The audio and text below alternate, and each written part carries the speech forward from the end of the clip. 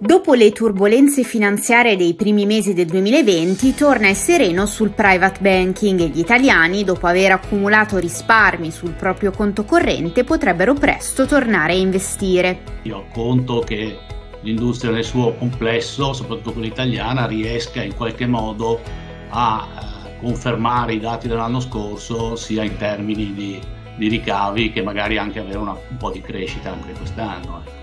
Nei nove mesi dell'anno i risultati del gruppo Fideuram sono in crescita e le masse amministrate dalle sue reti raggiungono i 243,8 miliardi, un livello mai registrato prima, con la rete di Intesa San Paolo Private Banking a pesare per circa 110 miliardi e quasi 38 mila clienti. Mo, chiaramente abbiamo seguito anche noi un po' il trend dei mercati, noi abbiamo un risultato positivo sia in termini di ricavi a fine settembre sia soprattutto in termini di nuovi clienti e nuovi apporti, perché anche quest'anno abbiamo avuto una crescita significativa legata al fatto probabilmente che siamo una banca molto considerata molto solida e quindi c'è un passaggio di più facile per i clienti verso una realtà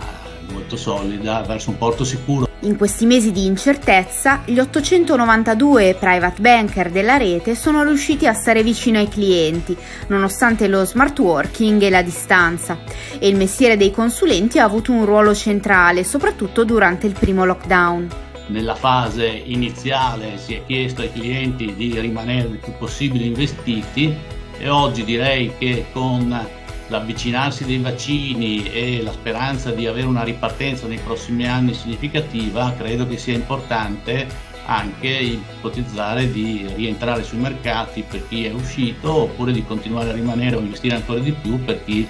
è rimasto dentro. In gra- grandi linee chi è riuscito a non farsi prendere dal panico ha, alla fine ha guadagnato. Il 2021 promette bene e già ora sui mercati i tempi sembrano cambiati ogni cliente ha un suo profilo di rischio e una sua sensibilità. Quello che appare oggi è che c'è molta liquidità e quindi questa liquidità può nei prossimi mesi o periodi essere reinvestita e credo che sia importante avere un, una visione di lungo termine e quindi riuscire a fare degli investimenti che siano sostenibili, che siano legati anche a profili un po' più rischiosi rispetto alla liquidità, ma che possono dare un risultato nel medio-lungo periodo.